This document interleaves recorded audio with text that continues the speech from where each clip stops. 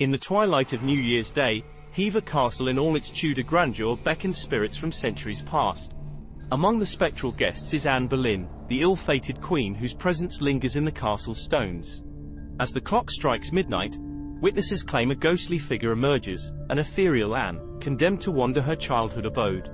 Her laughter, like delicate whispers, dances through the cold corridors, and the air carries the echo of footsteps from another time. Within Hever Castle's ancient walls, the veil between worlds thins.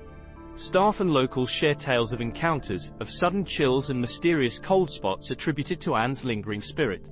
Skeptics point to the castle's age, but believers swear by a connection to a queen lost to history. The castle's archives reveal the undeniable ties between Anne Boleyn and Hever. Imprisoned and executed, her tragic tale amplifies the supernatural allure. Hever Castle's New Year's Day becomes a stage for ghostly encounters, where Anne's spirit intertwines with the bricks and stones that cradle her story.